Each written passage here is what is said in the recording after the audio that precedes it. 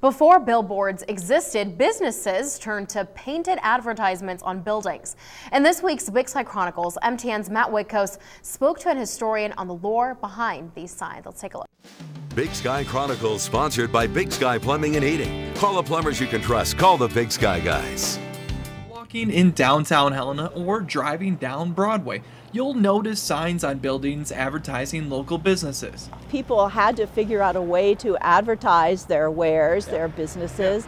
Having a prime location in downtown Helena, you're bound to look up and see a sign like Eddie's Bread, good to eat. This was uh, before you had those neon signs, and it was uh, really the only way that people had to advertise on their buildings. But as years went on with the harsh winters and pouring rain, these signs began to fade and gain the name ghost signs. The idea of it being a ghost is because, you know, it's just, it's very faded and sometimes they're very difficult to read.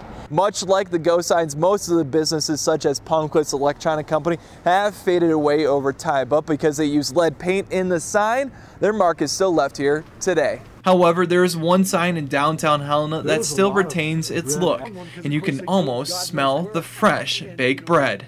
Actually, it was kind of repainted to look like it, you know, wasn't brand new. Reporting in Helena, Matt Witkos, MTN News.